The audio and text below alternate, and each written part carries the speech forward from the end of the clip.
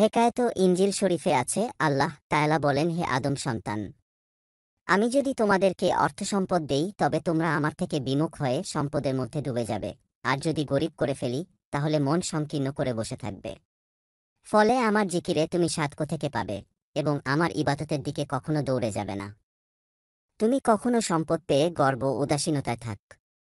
আবার কখনো অভাব অন্টনের ফলে ক্ষতবিক্ষত হও। সুখে দুঃখে যেহেতু তোমার এ অবস্থা অতএব জানি না কখন তুমি আত্মবিমুখ হয়ে আল্লাহকে স্মরণ করবে। উপদেশ, সম্পদের আধিক্য ও সীমাহীন দুঃখ কষ্ট উভয়টি আল্লাহর স্মরণে বাধা হয়ে দাঁড়ায়। তাই মধ্যম ধরনের অবস্থায় আল্লাহর ইবাদত করা সহজ। গল্পটি পছন্দ হলে আপনার বন্ধুর সাথে শেয়ার করুন, আর পছন্দ না হলে শত্রুর সাথে শেয়ার করুন।